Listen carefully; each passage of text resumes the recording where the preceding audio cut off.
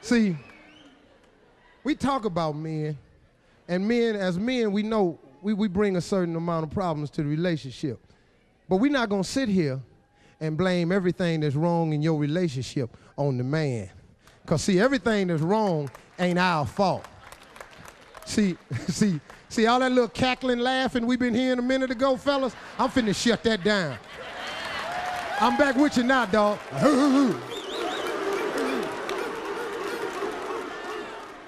See, when it comes to, to, to putting that spark back in your relationship, a lot of you ladies are disappointed in your man because you think the spark in your relationship is gone. Your love business in your bedroom ain't what it used to be. And you think it's cause he done slipped in his department. But no, no, see, let me straighten you out a little bit. see, when it comes to being sexy, women, you have us beat hands down. There is no contest. You are the sexier being. It's something, y'all just, sometimes when you pull the sheets back and you just laying there and the skin and, the, and them, them circles and look, look.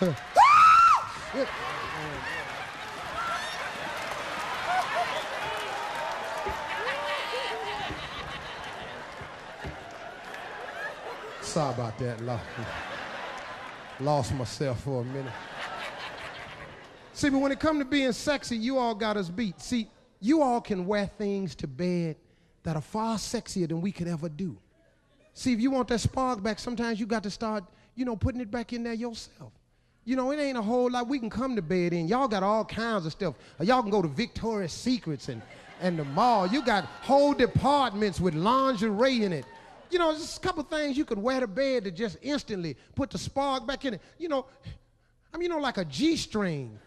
You know, I'm trying to tell you, ladies, there's something in us. When we see a string go down the crack of your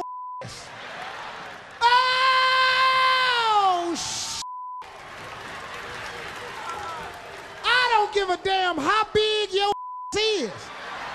I don't give a damn if when the string go down there, we don't see it no more.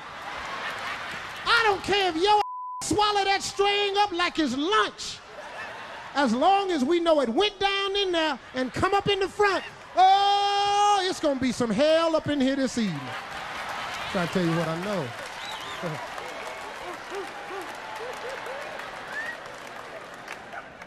But see, a lot of you women out there didn't quit doing that because you've been with your man for a while and you done forgot the old saying that the same thing it took to get your baby hooked is going to take the same thing to keep him.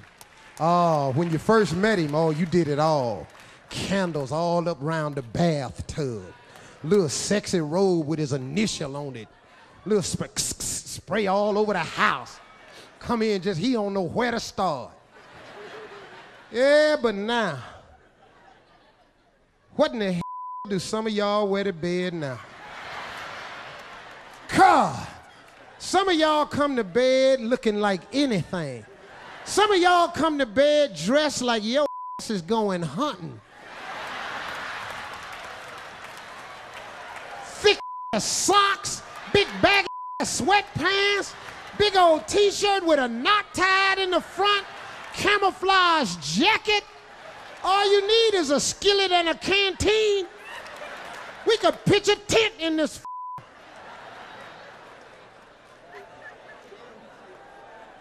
And let me ask you something. What the hell is bloomers? Where did you find a pair of drawers so big that they come all up over your stomach, right up under your? Where did you find them big drawers at? Some of your men ain't seen your neighbor in seven years. You knew them drawers was too big when you hung them on the clothesline last week and you looked outside and the little boy next door had been climbed up in them and was outside swinging in your drawers.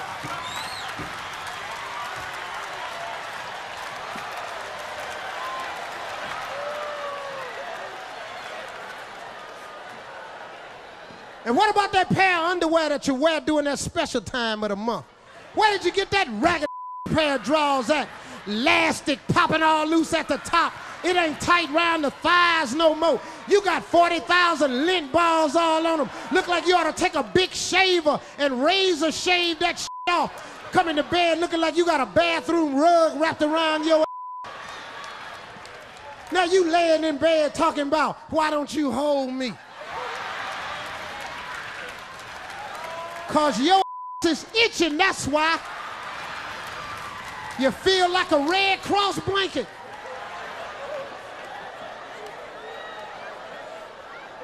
What about them house shoes you've been wearing ever since you met us? Used to be all fluffy and pink. Now you done wasted chicken grease on them. Syrup all on the shoe. Now your country took them to the shop and had taps put on them. Now you walking around the trailer.